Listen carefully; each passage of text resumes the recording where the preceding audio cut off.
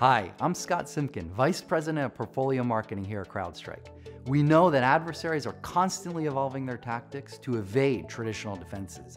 In fact, we've seen the use of fileless attacks that can hide as valid system processes skyrocketing, now making up 71% of all attack techniques. And using these stealthy methods, threat actors can run attacks entirely in memory with commonly available tools like Cobalt Strike to deliver threats like ransomware to potentially devastating results.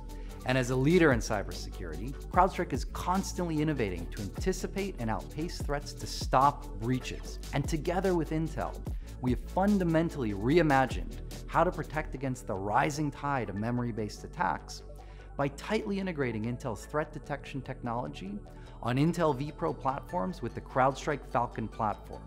We can rapidly shut down these attacks before they cause harm.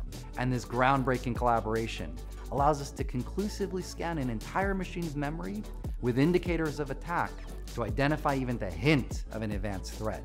And we do this based on the adversary's behavior, not easily change attributes like a specific malware or exploit. The integration of Intel and CrowdStrike will allow you to detect the most advanced threats earlier in the kill chain to shut them down.